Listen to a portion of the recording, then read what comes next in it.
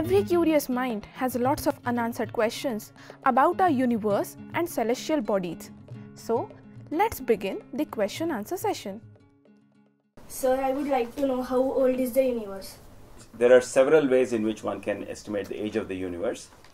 Uh, one simple way of saying that is, for example, the age of the earth gives you the minimum age of the universe because the earth is part of the universe and we know that the rocks on earth are about 4 billion years then the earth has, the universe has to be at least 4 billion years old.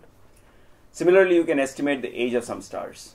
So that gives you another lower limit. There are some stars which are 10 billion years old. So we know that the universe is at least 10 billion years old for certain. The most accurate estimate of the age of the universe comes again from this Big Bang model, where if you know how this expansion of the universe is happening, you can work backwards and find out when the universe was extremely small, right? And that gives you the value of about 13.8 billion years, and that's the accepted value at the present day.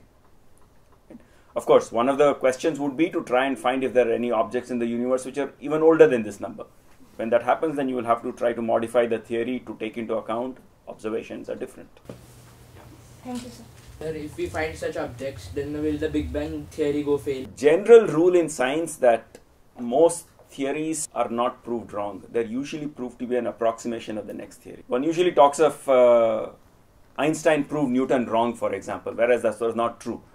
Einstein's theory of gravity only showed that Newton's theory was an approximation for a different part of the physical parameters.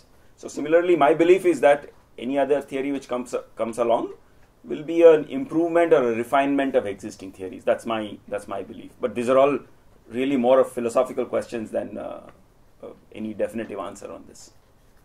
Thank you, sir.